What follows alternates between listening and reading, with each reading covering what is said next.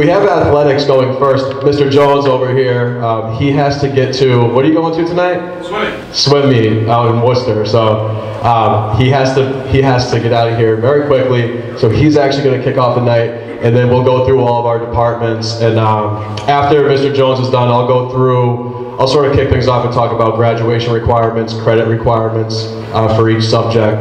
Uh, so we're going to get off and running. We already started off a little late, so I'll pass it on to Pete for now. Good evening, everyone. My name is Pete Jones. I'm the athletic director here at AMSA. Uh, I'm in my 11th year as an AD, and I'm in my fourth year here at AMSA. And I'd like to think athletics is going first tonight because it's important. That's, that's why I'm going first. A um, couple quick things. I'll be very brief. As Mr. Naraki said, I do have a swim meet to get to in Worcester. Um, we are a member of the MIA. I think a lot of times people think because we're a charter school, we're not an MIA member. We are an MIA member. Um, there was a time when AMSA Athletics first began, they were in a, a charter school league, but at this point in time, we are a full-fledged MIA program. We're a member of the Colonial Athletic League, which is a league in Central Mass um, that has a lot of the tech schools like Worcester Tech and Assabet, and Keefe Tech, Blackstone Valley Tech, Monty Tech. Um, and I think we're in a really good spot right now. It seems to be a really good fit for us. Um, 30 di 37 different programs, uh, excuse me, 37 different teams throughout 23 different programs. So there is a lot of offerings. I feel we have a robust athletic department. Um, and, and I think I want to stress tonight that there's something for everybody. Um, certainly some of our programs are very competitive and we do have to make selections and cuts, but each, each season, fall, winter, spring, there is something for everybody. So I certainly encourage your students as they get into high school um, to try and become a, a, a member of one of our programs. So just real quick, I'll just go through the offerings. Uh, in the fall, we offer boys soccer and girls soccer, boys and girls cross country. We offer girls volleyball, we offer golf, and we also have field hockey and football opportunities at other schools.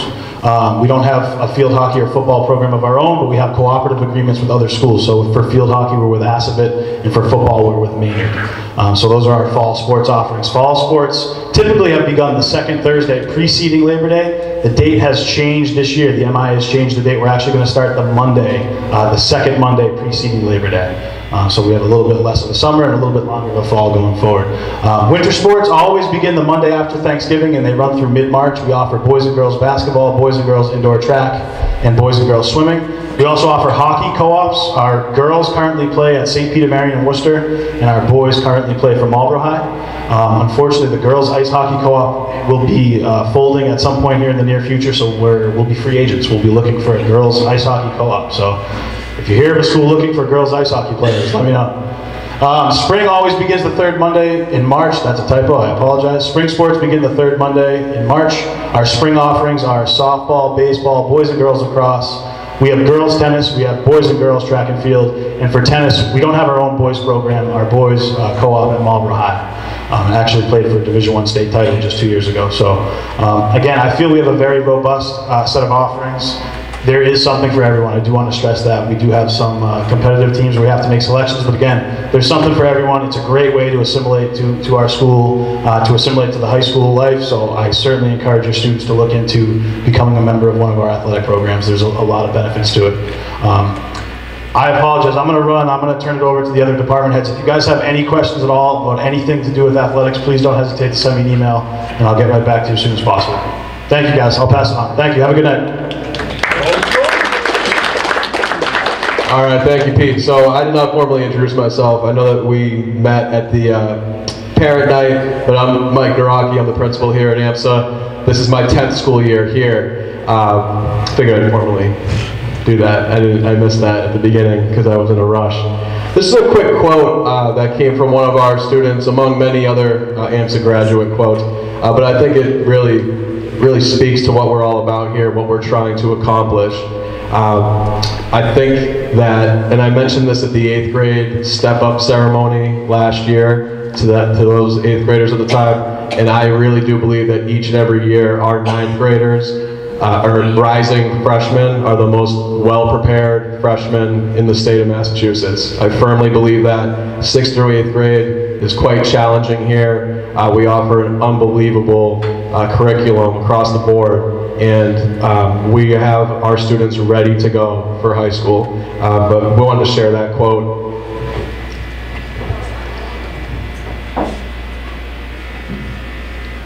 And uh, these are our AMSA graduation requirements. You can find these in our in our handbook for sure. Um, and this video is going to go out to uh, families who are not able to be here tonight, and we'll have the uh, slides in there as well.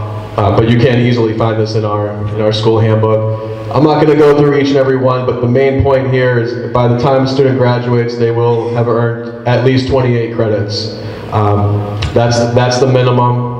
Uh, these are the requirements, and the, these do not include the elective courses. That the um, these are the bare minimum for each for each subject. Each student to graduate, they'll need to successfully complete the biology MCAS in ninth grade, and they'll have to pass 10th grade math and English.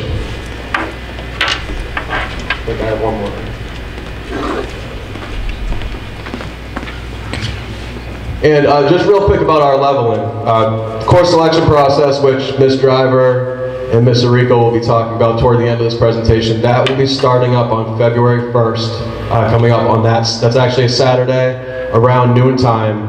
Uh, we will open up the registration process for the students to select their courses. Right now, the teachers are recommending students for their courses. The teacher end shuts down on February 1st. Student side opens up the same day. Uh, we have college prep, commonly referred to as CP, honors and advanced placement, our college prep courses. Um, of course, they prepare our students, they're aimed at preparing our high school students for colleges and universities. Um, our college prep program, you know, what we do in our college prep courses here, I think, are, are at a higher level than you would find at some of our neighboring communities. They are challenging courses, for sure. Honors, things that may step up a little bit, or they do step up a little bit. More in-depth study, and it may require some more independent learning and greater effort. And AP, these are approved courses by College Board, the general oversight for um, AP classes. And we have, how many programs, 18 or 17? I- 17 AP programs right now uh, offered here at the high school level. Ninth grade students have biology as an option.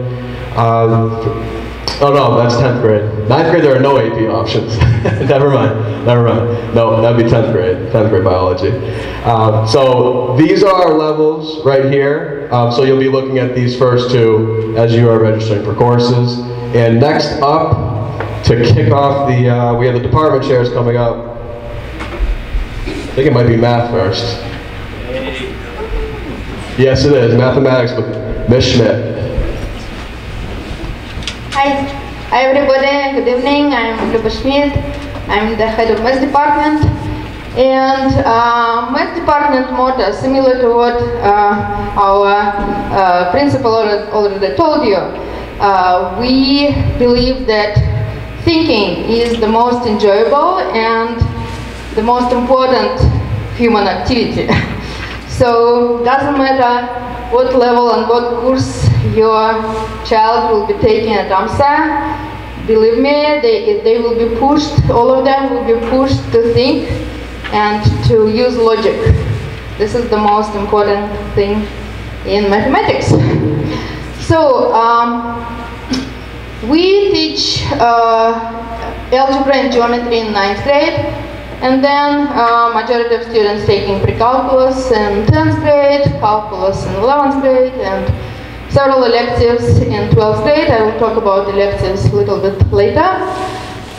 Uh, some of our students uh, struggling with algebraic skills and we give them a little bit more time to study algebra because without algebra they cannot go and study more advanced courses. So this is where you, where you see some algebra 1 uh, option and algebra 3 option. So some of them uh, reviewing algebra 1 in ninth grade, and then moving to algebra 2, and some of them need more than one year to study algebra, so this is the option to study algebra uh, 2 in two years, actually algebra 2 and algebra 3, so we divided it into two parts.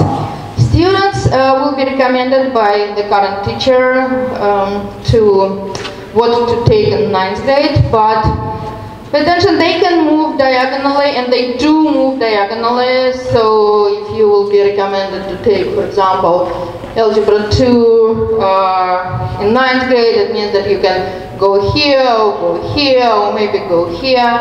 Uh, some of the uh, diagonals movements uh, require, actually all of them require teacher's recommendation and some of them require some study during summer and some of them require taking uh, exam in August to move to the next level. But some of them do not. Sometimes we trust teachers and believe that if teachers believe in the student, we should believe in the student. So just have in mind that once again you can move diagonally to the right and some students move diagonally to the left. They, for example, in 11th and 12th grade want to take um, easier courses and it's okay as well. We kind of push them, of course, but we uh, kind of respect their, uh, their wishes and their goals, etc., etc. So uh, we believe that studying, cal uh, studying calculus in high school is the right thing to do. So we actually uh, have calculus, we teach calculus on five different levels. As you can see on this table, it is intro to calc, calculus honors, AP, AP calculus, BC calculus, and multivariable calculus. So majority of our students uh, introduced to some idea of calculus, and this is what we once again strongly believe that it is important because calculus is about change and changes uh, around us in all processes. So it is important to study how it works. uh, and we have a lot of other uh, electives in 12th grade. We have multivariable calculus. We have AP statistics and regular statistics, honor statistics. We have uh, linear algebra and differential equations. We have finite math and very um, popular accounting and business fundamentals course that many of our actually students like to take. Uh, we are really happy that um, many of our students in 12th grade actually taking two courses, two math courses. So we see it that kind of uh, testimony that our students love, love math and it is once again the second most important thing for math department. so they should love math. Okay, so questions? More questions? Thank you so much.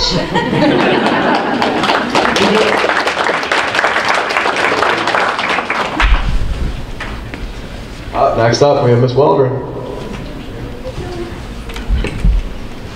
Good evening, ladies and gentlemen. Um, my name is Alex Waldron. I am the English Department Chair here at AMSA. Um, and even though this may be called the Advanced Math and Science Academy, there is a second not so well known name. You know what the name is. It is the AHA, or the Advanced Humanities Academy. Um, took my line. We, um, so we like to think that um, even though we're not in the title, we take it very seriously that students will love the study of humanities, that they will love to read, that they will love to write, goodness me, if they could love to write essays, that would be everything. So we spend a lot of time trying to train students to be good at it, but also to kind of enjoy it, to pick prompts that they enjoy. And I'm already seeing one face that says, uh-uh, that's not happening. Um, but it, it can, it, it's possible. Um, so we organise um, the grade levels, much like you've seen from 6 through 8, where we are mostly aligned with the history department. So where we can't do something historical, just because it doesn't match in terms of date, we'll do it by theme so that they can use their cultural understanding and their context to apply it to the study of the text that we have. Uh, we take great care to choose things that we think will be challenging, but are also kind of aesthetically established. So things that um, one day when they're sitting around with a bunch of intellectuals, they can just roll out their knowledge of these impressive texts that they do actually love. Um, so in grade 9 and 10, you can see that they don't have a lot of choice here. They'll be in either honours or CP, um, and they'll just roll through the texts that we've chosen for them. Um, and the themes largely, you can see there, European Renaissance and world literature, um, and then moving on further up chronologically through the ages. When they get to grade 11, this is when the choices start to open up. So in grade 11, they can choose AP Lit. Um, that's a very popular option. It kind of exploded recently after we did some marketing campaigns. Um, so hopefully word will spread, and a lot of these people in here will choose to do it. Um, but we also cover in grade 11 another option of American Lit. It's a bit of a survey of that, which aligns as well with what history are up to. When you get into grade 12, what we're trying to do is to mirror the choice that you'll get in college.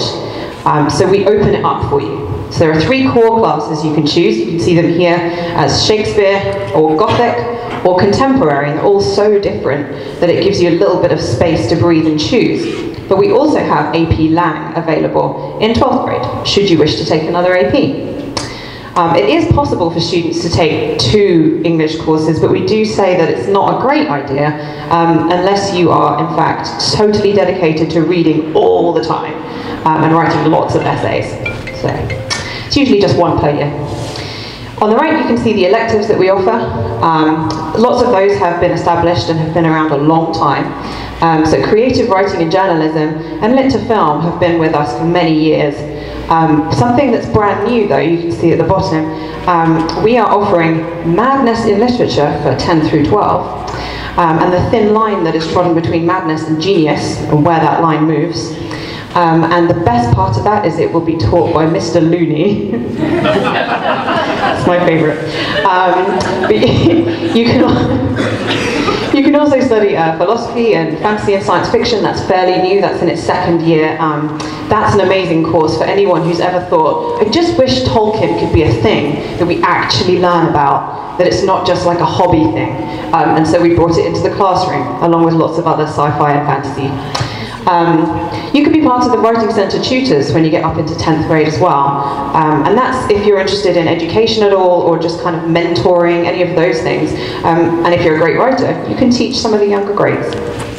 Um, so that's a bit of an overview. Um, and if there are any questions, let me know. Oh, I have questions. Okay. Uh, yes.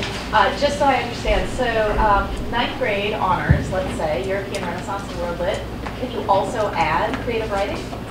Yes. Okay. Yeah. Yeah. The question. The question was, what do I do if I want a combination of, I say I'm doing um, honours ninth grade, uh, straight English, right, core English. Uh, what can I add as an elective with that? So um, most students then take one extra with that, so you could combine creative writing with it. Is there kind of there's a scheduling? Okay, I don't want to stand on their toes, um, so but they'll be able to explain what kind of combinations are physically possible with the scheduling for you. Was there another one? Yes. every other year? Is it next year or the year after? It is the year after. The question was about lit to film. Um, next year it is not on. It is in 2021. Yes. Anyone else? So, so the electives, they're together with the required or they are on top of it? Uh, so the question is, are the... Yeah, is there, you have to take electives or is it Nope. Um, so the question was, do am I required to take any English electives in conjunction with my ordinary English? Um, you are not required to take any of those. Those are total choice. Um, although I'm sure the scheduling team will be able to tell you what um, some of the advantages are for choosing certain things in combination. Anybody else? Okay, have a wonderful evening.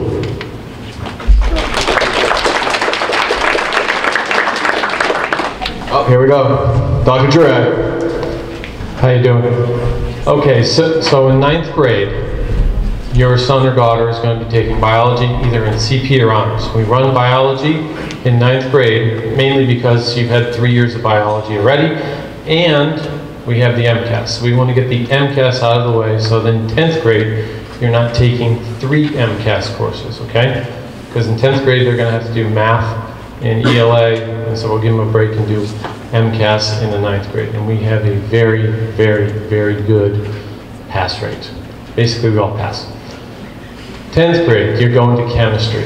And you have a choice between CP and honors too. But then you can take advanced placement biology. Now, in the science department, AP classes are electives. They will not count for graduation requirement. So, you may take that. In 11th grade, we have physics, CP and honors, but then you'll have the availability of taking AP biology or AP chemistry. And then the 12th grade, those who are really, really, really set on taking AP physics can do so in the 12th grade. And the reason why we run that in the 12th grade is because you really do need the calculus in order to be successful in that AP class. So we also have some other um, electives that we run. Anatomy and physiology is taught by a registered nurse that I have on staff. He does a fantastic job. We do also run environmental sustainability by Mr. Brandis. A new elective this year run by Ms. Tebow is Discovering New England. It's an ecology survey of New England. And then we have what we call science research, which is literally that. It is research that your son or daughter will do in the science field. And currently we have biochemistry, ecology, geochemistry, and microscopy. And these are exactly that. They're modeled after graduate level programs. And they'll have to present at a science night that I hold the first Tuesday in April. And they have to uh, develop a poster and they'll have to present it to the public, much like you would get at any science conference. And the idea is they're going to have to tackle a problem that they can't Google and find the answer to, but they actually have to work at it, collect data, hypothesis, the whole nine yards, and then present it. So I have two slides, so I'll stop here. We can entertain some questions on the science department, if you wish. Questions? So I have a question which applies to all departments. Uh, CP and honors, do you select or are you placed in these classes? That's a really good question, and it it it differs by department. I mean, math department has very strong recommendations. Uh, science department has al- also has very strong recommendations on that, where the teacher will recommend your son or daughter for a specific level. And I think guidance will be able to talk more about that as well. So I'm going to push that up to that. So any other science? So if you take like biology, AP biology, and the next year you're supposed to take physics, it doesn't count for the points for your graduation requirement, right? Absolutely not. Yeah, you're right. So basically, to, to graduate from AMSA, we set it up so that you have to take biology, chemistry, and physics at either an honors or a CP level to graduate. That actually, that's, that's not my doing, that's the charter. The AMSA charter requires that. And we had to change to make it a full year course. That was the deal we struck with the board and the Department of Education. So you have to take the one year. Absolutely. You can take it two years if you like. I'm sensing you really like that, though. So for the AP, they gonna take the actual test in the end to get the college credit for it? Is, or how do they determine if they actually get the credit or not? I'm going to pass that off to guidance because it depends on the college. It's not us that gives you the college credit. The college credit will come from the institution your son or daughter goes to. And they, they can speak more about that, but we don't do that. We just, we give a grade, it goes on the transcript, and then College Board will send that score to the college. But we don't, we don't give So credit. there's no test in the end? There is a test, there is an AP test. There's an AP. We administer that through College Board. It's not very fun. Is there a recommendation for the science research in the junior year or the senior year, or is it guided by the guidance? So, um, yes and no. I, I really want to get students in in 10th grade.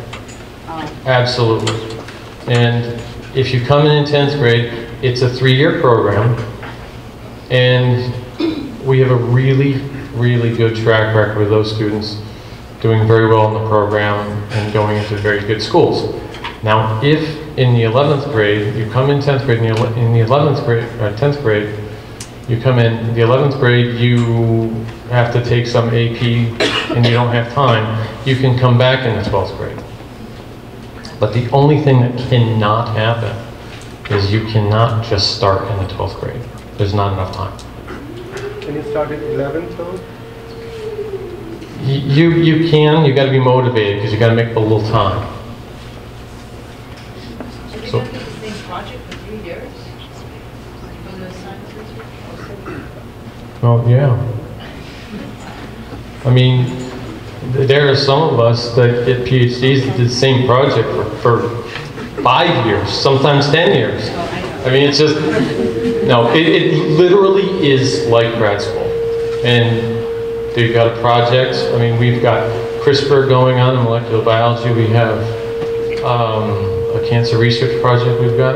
They're not volcanoes at science night. That, that's not the, what this is about, it's high level.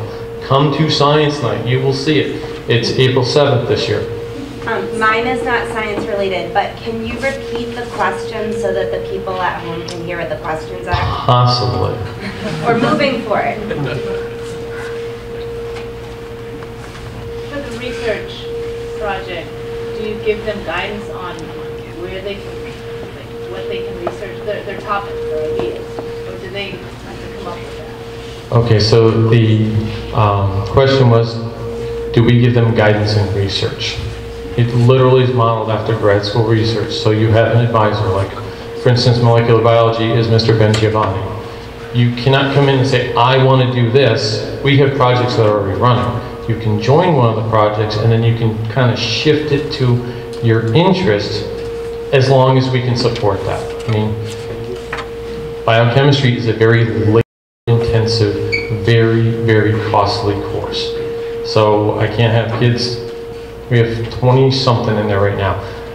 They have to be all on the same track so I can afford the supplies, because otherwise it just gets out of control. But the guidance is daily. Right. Sorry, uh, do they, uh, do they have to audition to get into the, or for everybody to join who wants it? We used to, so the question is, do they have to audition or can anybody join? And we, we run a survey in the spring of all the ninth graders to, to understand their aptitude. Then we ask them to write a little essay about what they want and why they want it. No one has ever been refused. But if your son or daughter says, oh my God, I really want to do ecology research with um, Mr. Lacutia, I love that, I want to do that, and then they put down on the survey that they hate being cold, they don't like being outside, they don't like being wet, they're not getting in that one, because that's what that's about. So just conversely, if they don't want to be in the lab, they're not going into molecular biology. So we kind of push them along the way to make sure that they're going to be successful with their choice, and it's not just a great word to have on a resume. All right, so CS, please. Do you have any external collaborations? Um, so the uh, question was, do we have any external collaborations with the program? Over the years, we've had loads. We've had collaborations with MIT, Harvard. Currently, we're working a little bit with Quest. We've had other um, collaborations. But the reality is, I don't want collaborations with any outside institution because this is an in-house thing. So the students will work on it here. It's, it's for AMSA students, all AMSA students, who may not have the opportunity to go to UMass Medical or to Harvard or for Tufts to, to they don't necessarily have the connections. That same research is done here for, you- for your students. All right, CS, please, sir. So I'm also the chair of the CS department. So in grade nine, you've got a choice. Yes, you can either choose Intro Java or Intro to Web Design. 10th grade, you can do Intro to Java, Advanced Web, APCS, or you can actually run Intro to Java again, that's not on the slide. And then in 11th and 12th grade is where it really starts opening up. You could do uh, Advanced CAD, um, APCS, digital media. Our claim to fame, though, was the data, data science and cybersecurity. And cybersecurity is so good, we put it down twice. That is a class that you have to be chosen to be in. We're not going to waver on that. It's not for everybody. You have to have a high degree of programming, and most of all, you positively, absolutely have to be of good character and mature enough to handle that class. Because you could wind up in a whole heap, heap of trouble with the skills that you would learn in that class. It is about security and defending a network. And in order to defend something, you have to know how to attack something. I'm going to let you kind of ponder that one. But by the time you get there, Mr. Ms. Bendauer does a fantastic job at preparing students, and it, it really is amazing what they can do. So questions on CS in the back? I do, um, do you have plans to add an increased data engineering in that curriculum? Um, So you have included Java, web design, but, um, some of the fundamentals behind computer science, the data engineering tech. Yeah, so the question was, do we have plans to add intro to engineering? And we do have it. Unfortunately, it's just not written, it's right here. So, yeah, intro to engineering starts in the 10th grade, and then you can take advanced, uh. It's not intro to engineering, it's, like- it's intro to CAD, is what we really want to call it. But you get the engineering principles in there. And then, um, we start the program with the good old fashioned paper and pencil. So you gotta learn how to draft something, then we move to computer, and then, you know, we have a bunch of, I think we have five or six 3D printers now, all different types, and the students will have to uh, render their, their designs. And then in advanced CAD, you learn a little bit more, and then when we get to engineering, in either 11th or 12th grade, you are building different projects. I know he's got his eyes, uh, Mr. Morris has his eyes set on a, a shed that they're trying to finish building. And uh, honestly, he's also taking over um, intro to robotics. And intro to robotics, starting next year, is shifting away from the VEX system. And we are going into a um, assembly line robotics system. It's uh, very segmented, and the students will have to actually program and work together to design an assembly line process of, of making something. Hopefully, it's going to be start off with putting something in a box and color coding, but eventually, we're going to build on that. So, yes, we have plans. We're doing it. We honestly got to teach them. Got to get them a little bit more mature before we let them loose with power tools. So, other questions? If you wanted to track or see what Java and web design both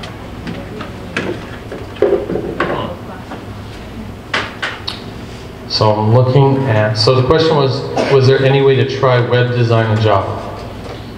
I'd look over at um, Ms. Driver, and she's not sure that we can do that, but you have Mr. Alvarez, right? He's going to be teaching web design. And it's basically taking it to the next level. And if you really like programming in HTML, then I would encourage you to take the Java class. I mean, strongly encourage you, because that's going to be run by um, Miss Benson. She's a great teacher, and she, she's going to prepare you for a lot of other things. Java is a really good step that you can take to get to just about anywhere, because you're going to learn the fundamentals of programming. And we, I know we talk about algorithm thinking all the time, but that's going to bring home. So you think Java is not a competitive type for web design and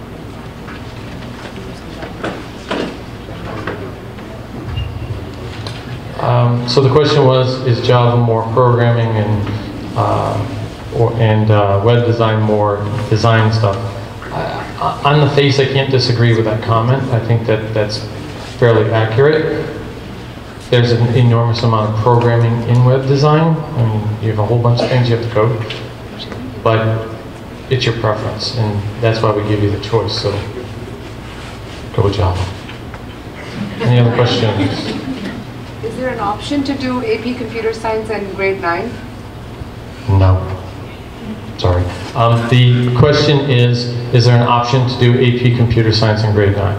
And no, no, there's not. There really is not. We don't even offer a competency test anymore because no one has ever passed it, period. We want the students to be successful, and in the science department, which is also a computer science department, all AP courses are a two-year program, which is recommended by College Board, and it helps your students prepare. So if you do intro to Java, and maybe your son or daughter's a great programmer, and they can handle it, and they can do it, and I know they can, that extra year gives them just enough. And when they do that, then they can go on to this class here, because that's where you want your, your student to be. But if you circumvent that, it is impossible for me to ascertain your students' understanding of the subject, but most importantly, their maturity level, and Ms. Bondaro will not allow them to take those higher level classes. And we want them to take them. We do. I mean, in cybersecurity now, I have 26 students, with 26 more waiting to get in because they want to get in. So, yes, do this. Follow the, it works. This, this will be number, you're going into 16 years. We got this down, it works, we know what we're doing. All right. Any more questions? Uh, So the AP Com Science has to be taken in 10th and 11th both, or just 10th is good? Um, if your son or daughter want, so the question was, does AP Comp Sci have to be taken 11th or 11th, 10th and 11th? It depends on when they take the class. Take So if, if your son or daughter takes it in grade 10, then they take the, the test in grade 10. If they want to wait and take it in 11th grade, that's fine, or even 12th grade is fine too. It- That's open. Um, All right, thank you. Thank you, Dr. Correct. I visited cybersecurity, I visited that class quite often. It was jam-packed. There are 26 students in there, as Dr. Dre mentioned. Two school years ago, I visited that class and Ms. Mandaru asked the students to attempt to hack into the AMSA webpage. And within, I would say, seven seconds, a member of the class of 2018 uh, was in. It was, and we, we addressed the issue and it's now but that's the sort of um, that's the sort of education they get in there. It's a it's a great class. And we have Dr. Lewis coming up. No, no microphone. I'll try to speak without a microphone. Is that, can everybody hear me in the back? I hate microphones. Uh, so just really quickly, uh, as Ms. Waldron said, uh, all the humanities uh, classes are generally structured, generally, around uh, the history curriculum. Uh, and from the middle school to the high school, the history curriculum uh, roughly goes uh, chronologically. So Next year, your kids will be taking world history from 1750 to the present. So that's going to cover the events leading up to the French Revolution, and then into the 1800s, uh, the Industrial Revolution, uh, imperialism, uh, World War I, World War II, and the Cold War, and the present day. Uh, so all students take uh, world history in grade 9. Uh, and then in grade 10 and grade 11, we have two years of U.S. history. So the first half of U.S. history goes up to, uh, we try to get uh, up to 1877, which is the end of the era of Reconstruction after the Civil War. And then the second half of U.S. history in the junior year goes up from Reconstruction to the present day in grade 11. Uh, and then as you can see here, we have a number of electives and AP offerings. There are no AP offerings until uh, grade 10.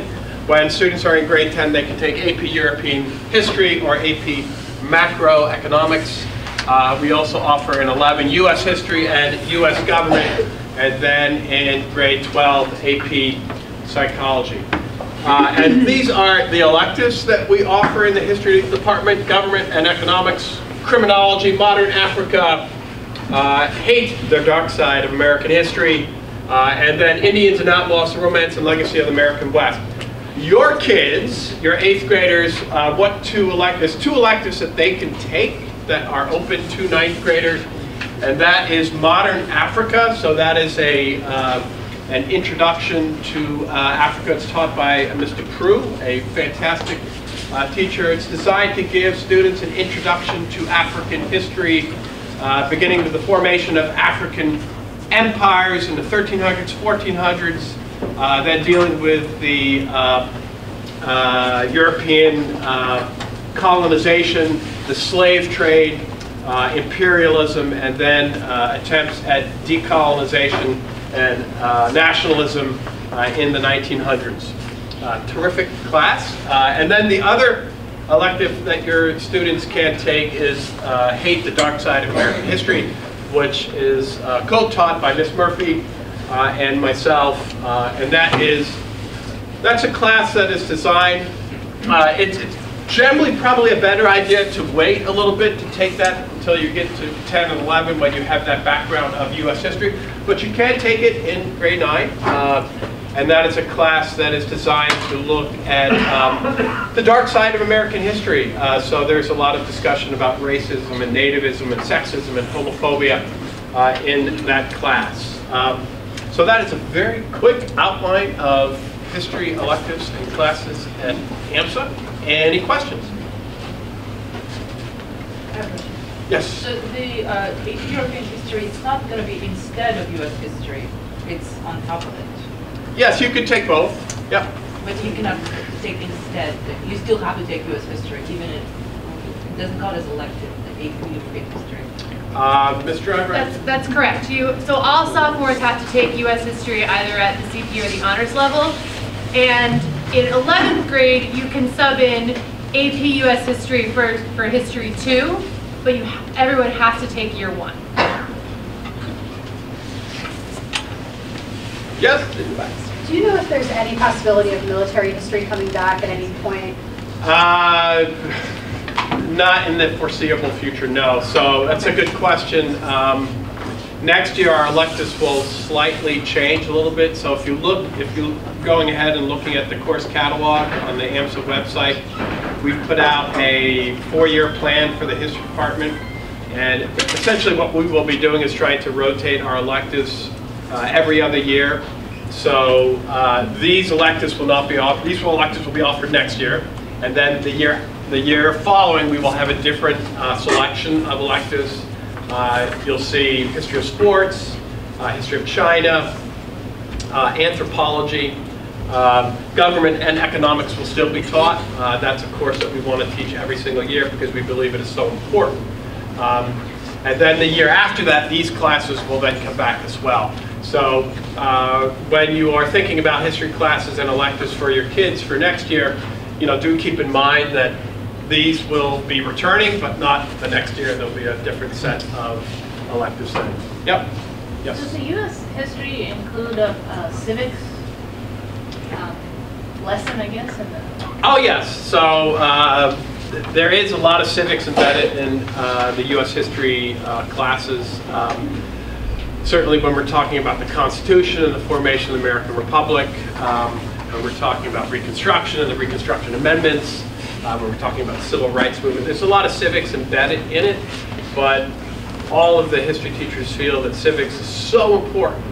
Uh, the responsibilities of citizenship, uh, what are the basic ideals of America, uh, what are our founding documents, so forth and so on, that we believe merits its own elective so that students who are interested in it, and we hope all students are interested in it, uh, can not only get it in our regular U.S. history classes, but they can also take our government and economics class. And if they're really uh, inspired, they could also take uh, AP government as well. Okay? Thank you. Thanks, Dr.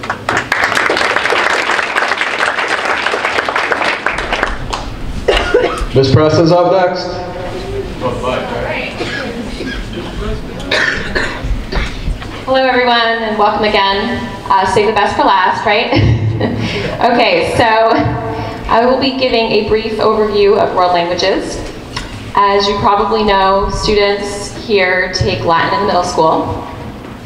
So your son or daughter at the end of this year can decide what they want to take next year, which is very exciting. They can either choose to continue on with Latin, and they'll be recommended by their current 8th grade Latin teacher, Mr. Fuller, whether or not uh, they'll be placed in, in Latin 2 CP or 2 honors, or they can choose to take either French 1 or Spanish 1. So for students who choose to go um, to continue on with Latin, uh, again, they'll be taking Latin 2, ninth grade year, and then they have the ability to move all the way up uh, to their senior year with either Latin 5, uh, which is a mixture of CP and honors, or AP. And we do have a very um, robust Latin curriculum, and we have a, a, good number of uh, AP Latin students every year. So uh, even, even the years when we have just one class worth of Latin 2 students, every year we have a, a section of AP Latin. We have a, a good number that um, continue on with that that are really passionate about it. So for students who choose to take either French or Spanish, again, they would begin uh, presumably at the level one um, in the ninth grade. We do have students coming in from other schools that, that can place into level two, so that does happen as well. Um, and so French and Spanish, we also offer uh, up to AP. So all three languages have AP offered, and each year, well, I should say after, after level one for French and Spanish is when the CP and honors levels uh, begin. So in that, that first year one, uh, everyone is placed together. And um, yeah, so again, we have the uh, CP and honors I want to mention too, that um, for, for Latin and, and French in particular, uh, those oftentimes CP and honors are mixed, which makes it especially easy to move up or down levels. Um, and uh, although only two years of world language are required, uh, almost everyone here takes at least three years, and a, a, very good portion of our students take, take four years. So, um, I mean, the vast majority, I'm sure that guidance could tell you the numbers on that, but certainly uh, many colleges look for at least three years of a world language. Uh, something else I wanted to tell you about is that this year we are launching the State Seal of Biliteracy Initiative, so you may have seen some, hopefully, uh, emails and uh, communications about that. And that is an exciting statewide initiative uh, in which we recognize students who speak another language whether it's a language that we that we teach here at AMSA or any any other language that they may speak at home. And so we are offering a test in various languages in early March, actually on that, that half day and that afternoon. And if students score at least uh, intermediate high in that language, then, and as well as uh, proficiency on the English MCAS, which pretty much all of our students do, then they would uh, receive the, this, the biliteracy state seal on uh, their high school diploma. So that's something that we're, we're launching this year. And we will continue to do that every year. And I think it's a great way to, to recognize our, our students' many linguistic abilities because oftentimes we have students, we may not even know that they, that they speak um, a second or even third language at home. So it's a nice way to recognize that. Yeah. Written or oral test? It is a combination. So it is speaking, uh, reading, writing, and listening. So all four, all four components. Yep. So let's see if I've touched on, uh, I think that's everything I wanted to mention 4 world languages. Does anyone have any questions about that before I move on to fine arts? Okay, I'll go there first, yeah. Latin for honors prose. Okay, so basically that's just letting you know that in, for honors, um, Latin 4, the, the focus is prose. Um, oh, and I should also mention, thank you for asking that, and I forgot to repeat the question. My apologies. The question was, what is Latin for prose? Um, that also reminds me that for all three languages, uh, the prerequisite to AP is honors the, the previous year. So for Latin, uh, for honors would be the prerequisite for AP Latin, and then for AP Spanish and AP French, the level three honors would be the, the requirement. Yeah. So what is the difference between honors and college prep in this term? So for world languages, the the main difference um, in an honors class, the more of the class is conducted in the target language, and you also delve more deeply into the material and move at a faster pace. That's the, the, the primary difference between the two.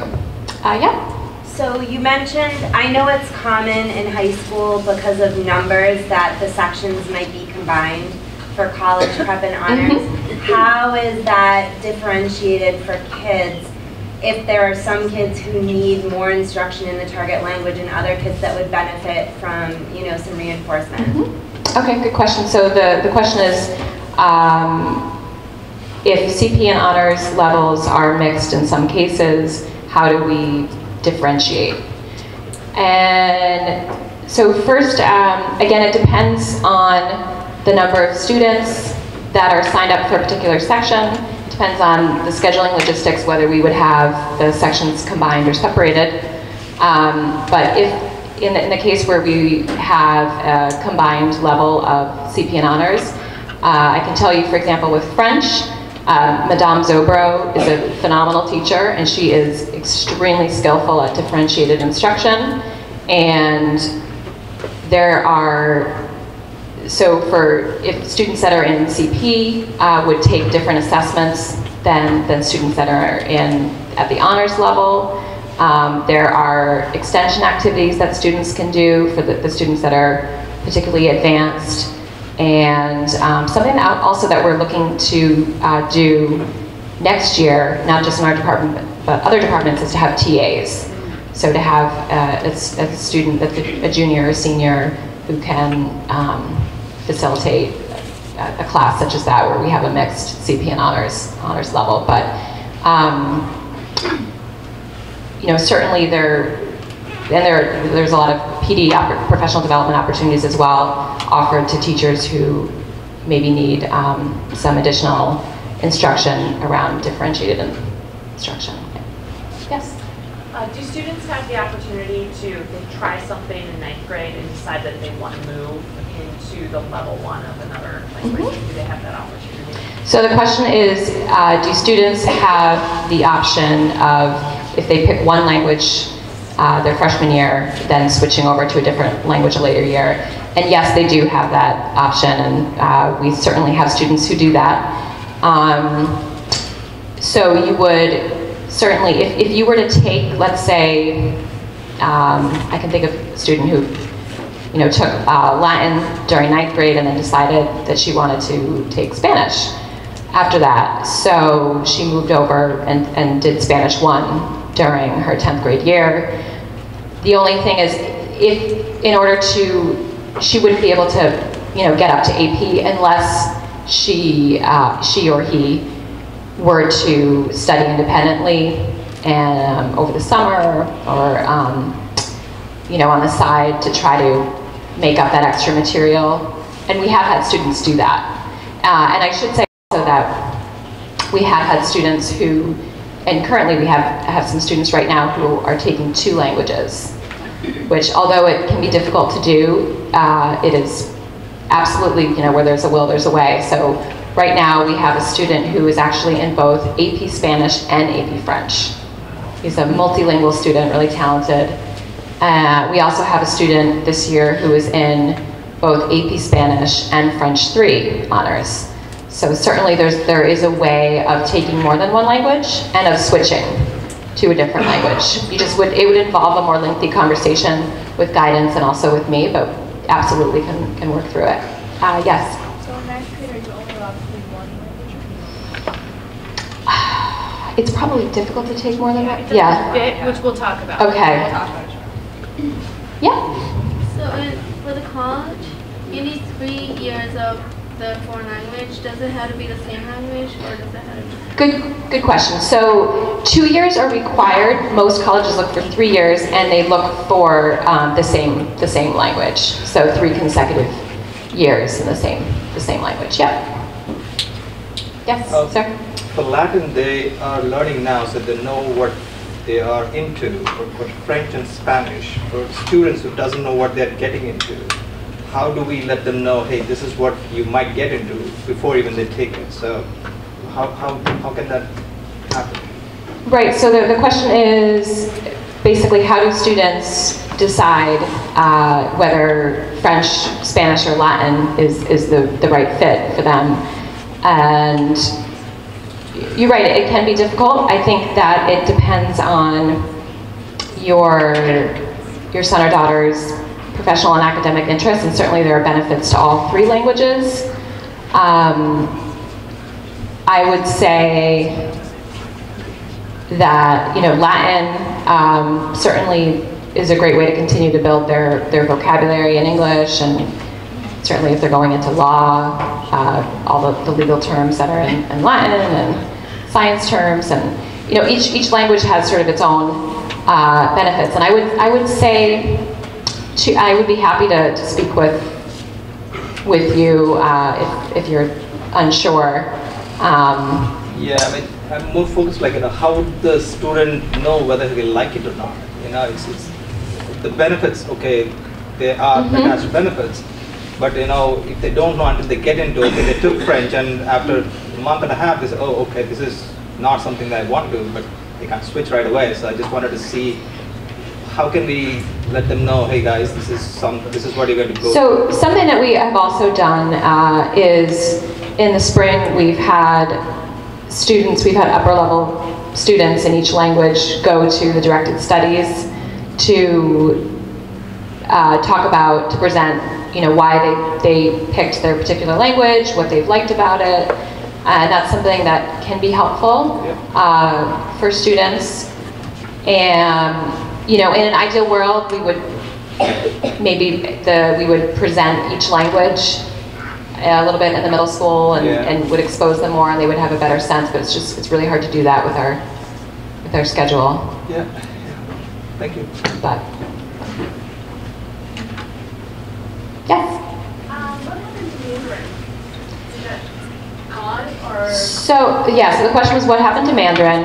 Uh, we, so we tried, we wanted to offer Mandarin this year uh, as an elective. It, so that the, it was in the course catalog last year and it was open to juniors and seniors.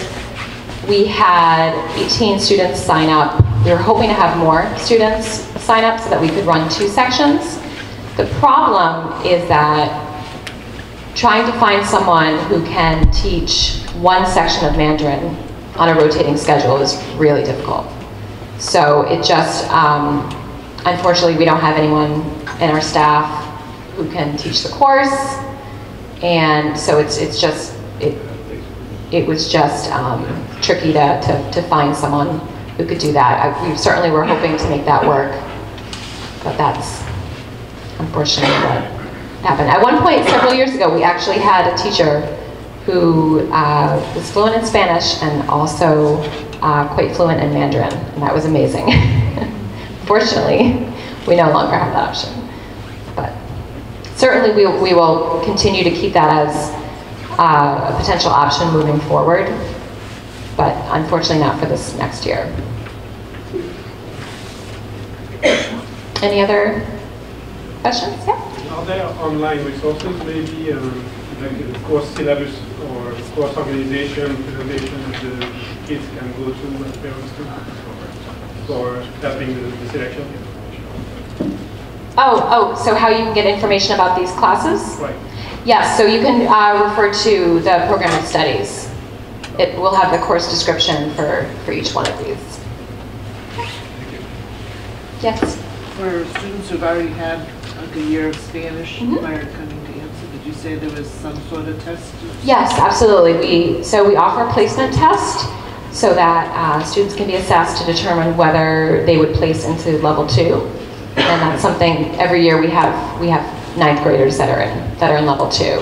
And actually, um, something that, that we do to enable students to take uh, four consecutive years, let's say that, that they are, are placed in ninth grade in level two. What they can do is take, so let's say they're in Spanish two as a ninth grade, ninth grader. They can take AP Spanish their junior year, and then the Spanish 4 CP 4 honors class is also called Film and Culture. So on their transcript, it would it would appear as Film and Culture, and so that you know would come up as Spanish 4 after AP. So we, we do make it work for, for students who start in level two.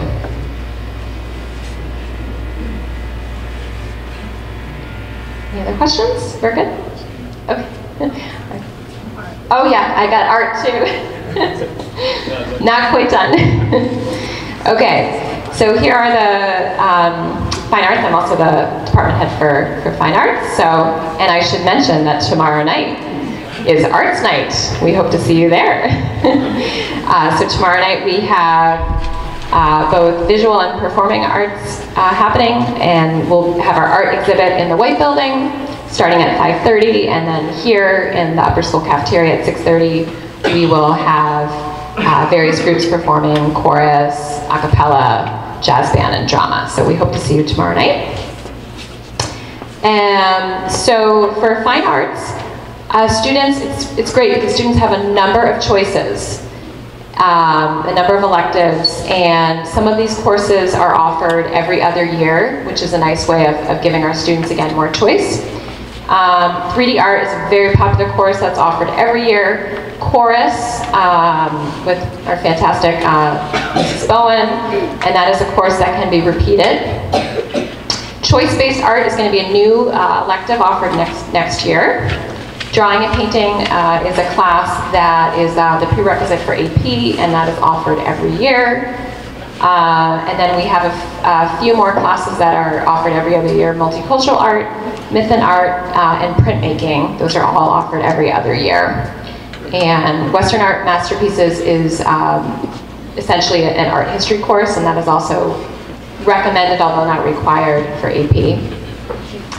Uh, digital media is a class that uh, is offered to juniors and seniors, and students can, uh, it can go towards fulfilling either a computer science or a fine arts credit, depending on uh, what students need. Uh, and that is a class that is co-taught um, by a computer science and a, an art teacher. So this year, um, Mrs. Monica Benson, Mr. John Morgan are teaching that. That's a, a very cool collaborative class. And then last, well, not lastly, there's, I should mention yearbook before going into AP art. Uh, yearbook, it does not fulfill your, your fine arts requirement, uh, but certainly it's a, an interesting elective that you can take. And you can repeat the course if you are an editor.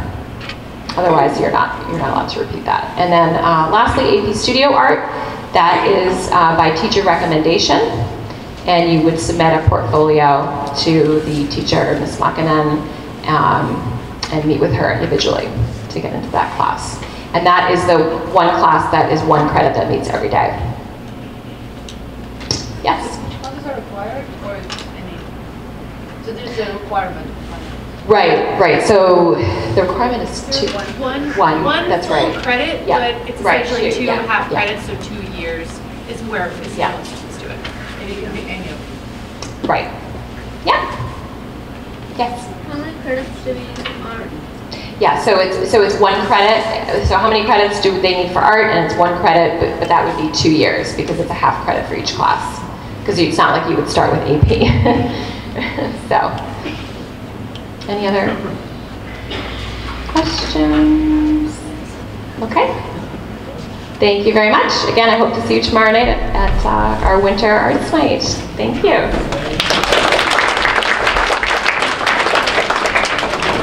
Uh, before we go on, just a friendly reminder to everybody, the program of studies is actually posted on our site. I believe we sent an email about it maybe a month or two ago.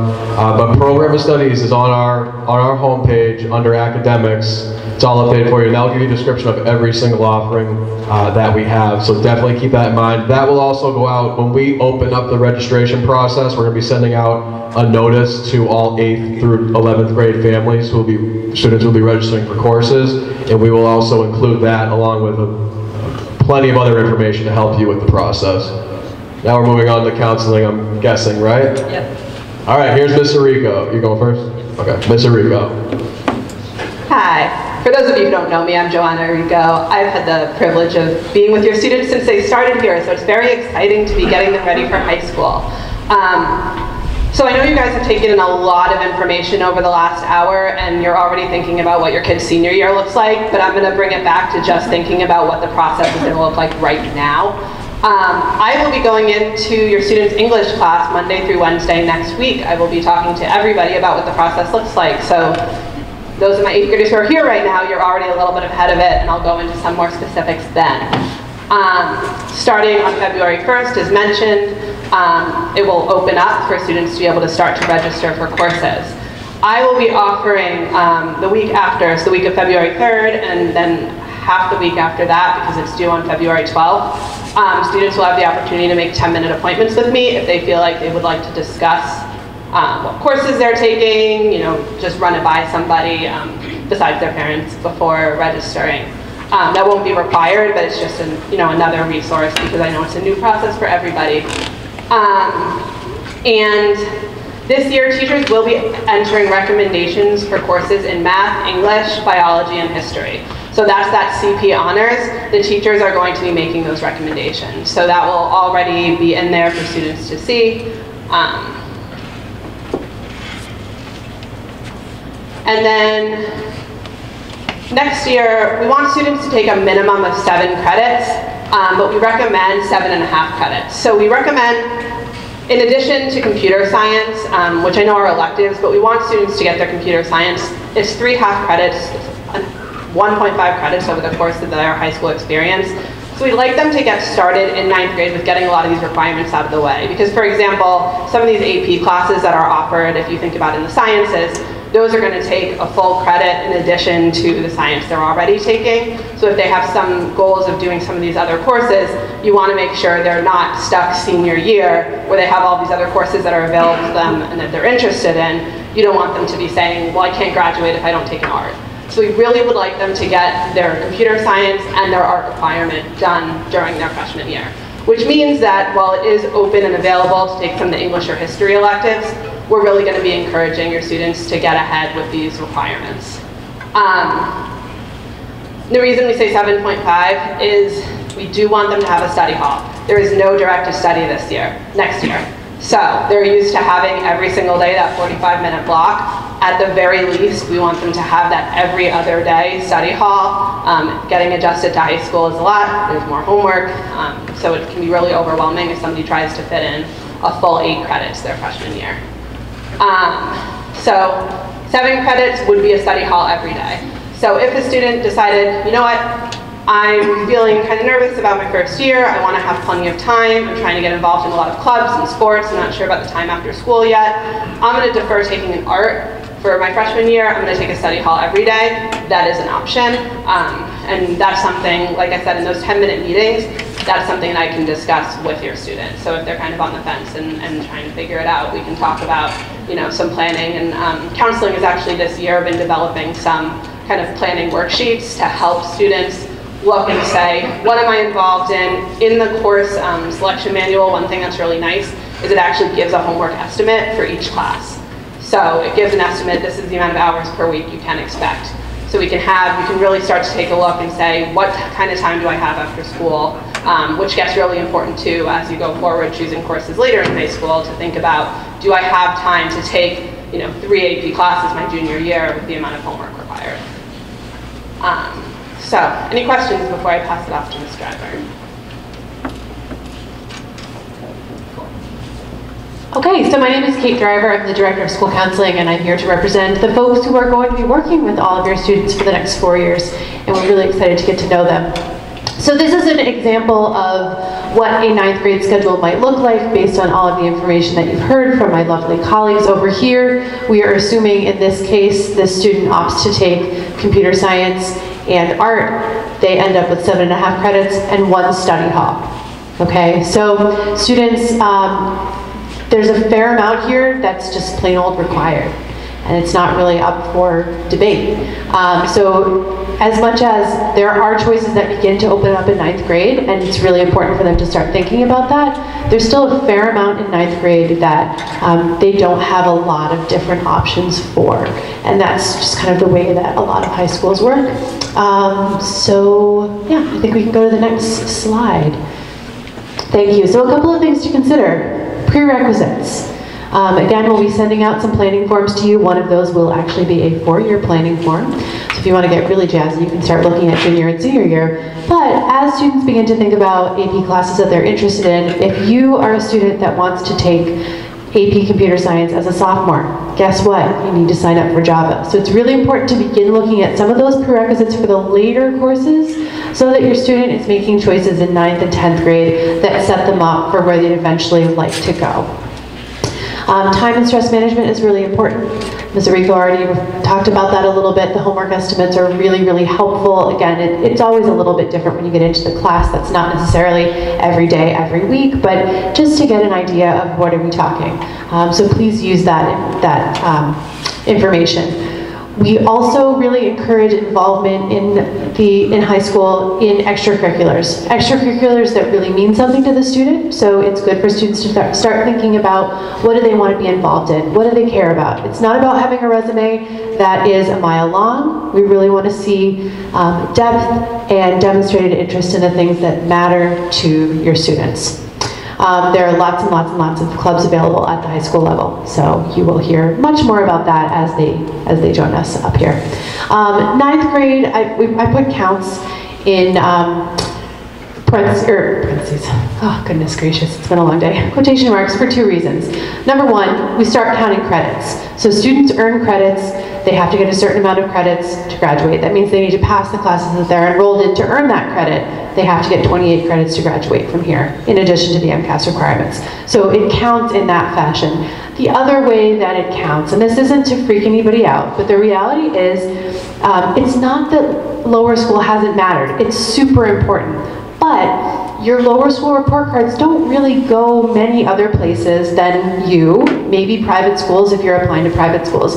Other than that, they're really not, they're not going anywhere. But grades in ninth grade, that information does eventually get sent to colleges. So again, that those wise course choices, making sure that students are spending their time on the things that matter the most to them is super important up here. So we try to encourage kids not necessarily to take honors or AP everything just because they were recommended. If you love history and you want to take AP there, definitely do it. But it doesn't mean you have to do it everywhere if you don't want to be spending your time outside of school doing, say, AP bio work and picking on everybody. Um, so again, just make wise choices as you go through the process. I think I might have one more. Um, just a quick little pitch about what's coming up in high school. You have had a lot of different experiences through our lower school counseling curriculum. At the high school, we have a ninth and 10th grade seminar that we will be that we're running. We're actually piloting it this year. We have between six and eight lessons, depending on the grade, looking at some basic career development, um, and then some social emotional skills. So helping um, students understand how to advocate for themselves, um, how to be good friends. So we do a little bit of that work in ninth and 10th grade, and then in 11th grade students, 11th and 12th grade students can utilize. Um, we have a lot of college visits that come in the fall to AMSA to begin to meet college representatives.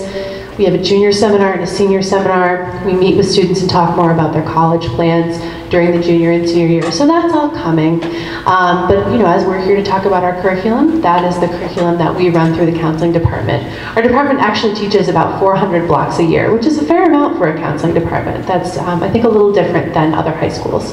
Um, we do a winter junior parent night, and then we do a fall financial aid night for grade 12 students. So. Um, I have a, I think there are a couple of questions that I wanted to answer and then I'll take other questions. So there was a question early on about AP credit. Um, so students who take an AP course take the AP exam if they'd like to, and I would say 99% of our students sit for the AP course at the end of the course that they've taken. That happens in May, the same year that they take the course.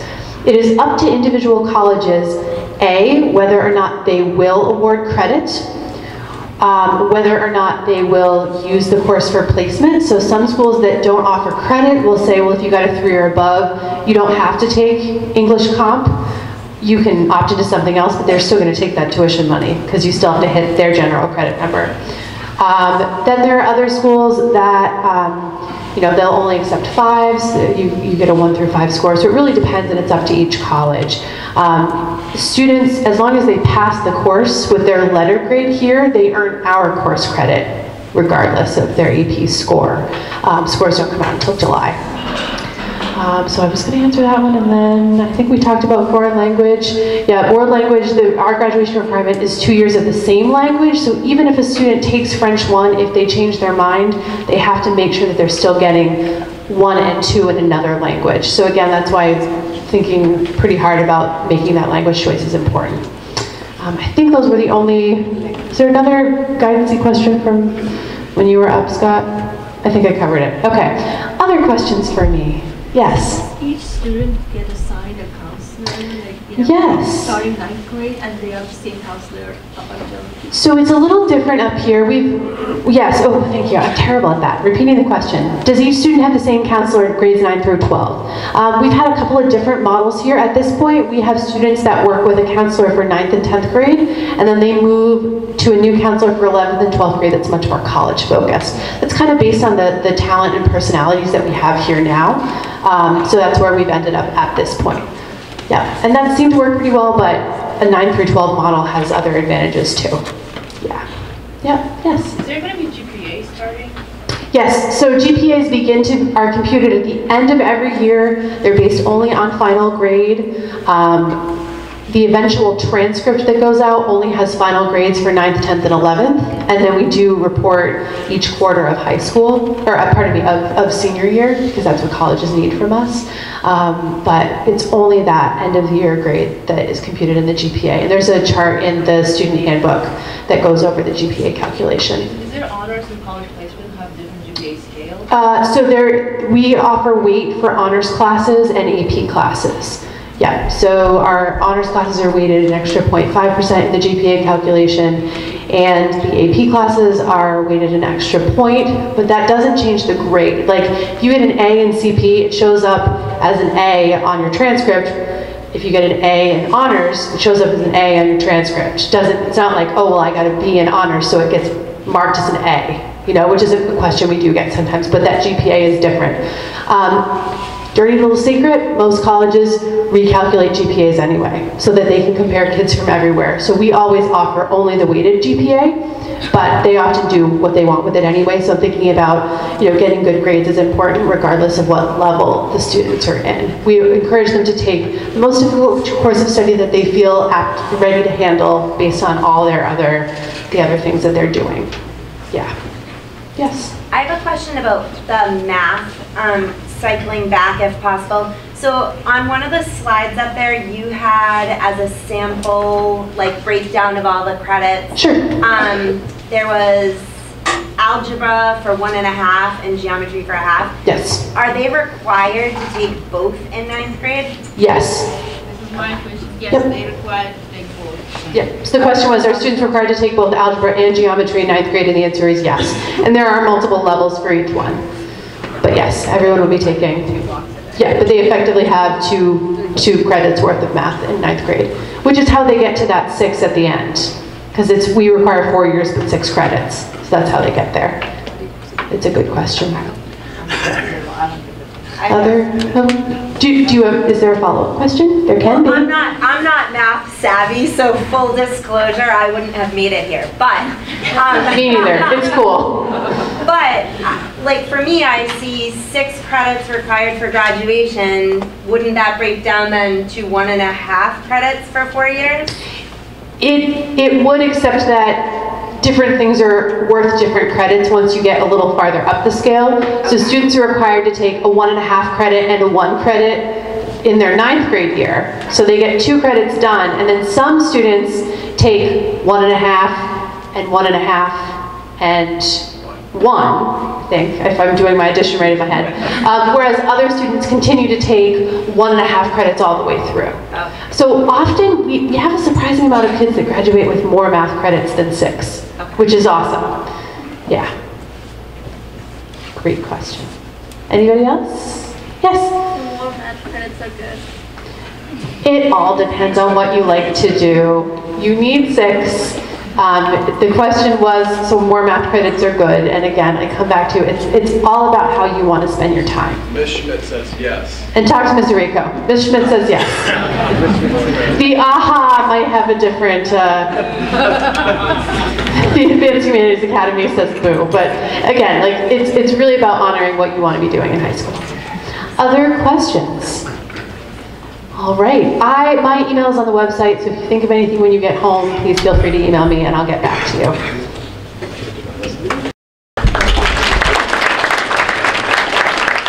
All right, I believe that's it. I wanted to mention one thing before we go. Did we go through this slide? All right, we're good. I just want to mention we we uh, this is not really related to the um, curriculum per se, but this current year that we're in right now, for the first year ever in the school's history, we did have a ninth grade orientation day, which uh, was scheduled the same day as our sixth grade orientation day. So ninth graders sort of had an extra day of school this year. Uh, believe it or not, we surveyed last year's eighth graders and asked them if they thought that that day would be beneficial, and we also surveyed the parents. And they, uh, the student survey actually was more, the majority of the students actually embraced the idea of a ninth grade orientation. So we will be, um, we will be running that again, and probably for all future years to come. Ninth grade orientation day, which would start one day earlier than the uh, first scheduled day of school, where all the other students come back. And on that day, we focus on time and stress management. Um, you know, how to manage your your caseload, your course load uh, things of that nature. And also we introduce, uh, I think we had pamphlets of all the 48 clubs that we offer here at the school. Uh, it's a nice day. It's not a, just a dry run through the schedule. It's more of, you know, what what's titled as an orientation, getting the students prepared. So we do spend an entire day with ninth grade. They are the only ones in this in this building that day. So it worked out very well. It was very well received. So please keep that in mind. More information uh, to come on that uh, as we move throughout this year.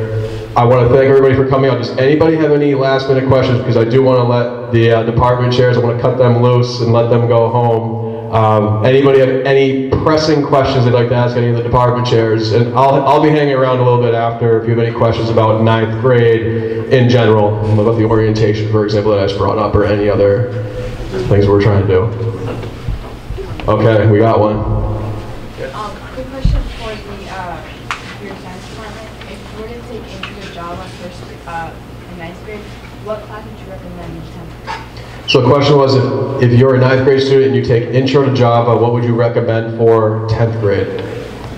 It, it depends. If you like Java, take AP Java or APCS, as we technically call it. If you hate it, something else. I mean, the goal in computer science, it's a credit and a half that you have to take. We only want your student to be excited about computer science and want to take it further. That's it. I mean, I would love for all of them to get to a very advanced level, but as you see with our faculty, we have a diverse faculty that don't necessarily embrace math and science, but they embrace their own unique disciplines. So I don't agree with that. no, we, we take what you want. We want you to be happy. That's, that's the bottom line. Take what you want. Dr. Dre is very straight to the point. Yes. I have a question real fast. Um, it's twofold. So what, as a prospective parent, what are two things that AMSA, the high school here, does really well? Like your, your elevator pitch, right? And then when the faculty and administrators get together, what, what do you guys talk about in terms of opportunities for improvement or what's on your mind as Wow, that's a great, that's like, I feel like I'm on an interview right now. Mr. Driver wants to take a stab at that one. Well, I I wanted to, I wanted to talk about that. So the question was, what do we do really well and what are we working on? Which is also like my favorite interview question when I'm interviewing people. So um, I, I think that we do a great job as a faculty making connections with students. That's something I hear all the time from students, from every survey we give them, from every conversation I have with students. I ask every senior or every junior um, to tell me about their favorite courses, and inevitably they end up writing about their favorite teacher. They don't write about their favorite course, um, even though the question is, what's your favorite course? Um, so I think that those faculty connections are really, really special here. So I think that makes us stand out. Hopefully you guys feel the same.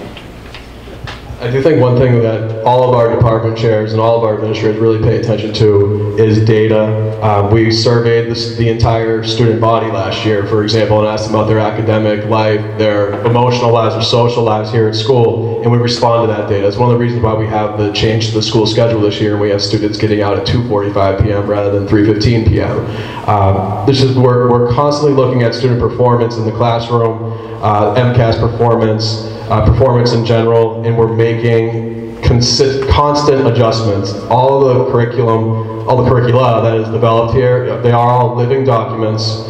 Uh, teachers all have a say in what's going on, and, and in the end, the students really do as well. Because, uh, like Dr. Gray was saying, they survey they survey students all the time. I know that they do in math, they do it across the board, and the students are not really they're not liking a subject. Why are we going to continue to offer it? If they want to see something new, um, we, let's find a way to make it happen. on that survey that we gave the students for 8th through 12th grade last year, uh, so your students, the 8th grade students actually received a different version, but we did survey all students in grades 8 through 12 last year. There were uh, 138 pages of comments um, that we took into account, and that helped us um, that helped us make a lot of decisions. So we're constantly seeking feedback from, from you as parents, from students. Uh, I think that's one thing that we do very well. We're, we're here, you know, we're, we're in the, whether we like it or not, we're, um, I, I like it. I think we're in the customer service business. You are our customers, your students are our customers, and we need to make sure that you guys are happy. Otherwise, the school won't exist, right?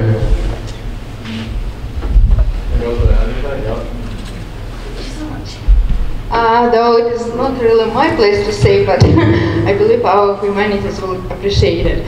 Uh, that I'm saying that we are uh, actually sending students to Math and Science Academy, and you obviously expect and you will get uh, really good math and science education. But at the same time, I believe our school is absolutely unique because we have absolutely the same strength of our humanities courses. And uh, not only they're strong, but they showed that uh, humanities subjects are connected, which you will not get from actually a regular high school. Usually humanities departments are kind of uh, separated. Our humanities department are working, and you've seen that uh, Ms. Waldron uh, talked about connection to history, between history and literature, and these kind of things you will get from, from AMSA. It actually reminded me, uh, we, unlike your traditional um, public schools, are not confined to the Massachusetts curriculum frameworks. We can go far above and beyond that and be very creative and offer uh, different opportunities for our students. So that's one advantage that I, I believe charter schools charter schools have. So some of our subjects and some of the, the depth that we get into here at the school and all the subjects across the board uh, may not necessarily be offered at, at other high schools around here.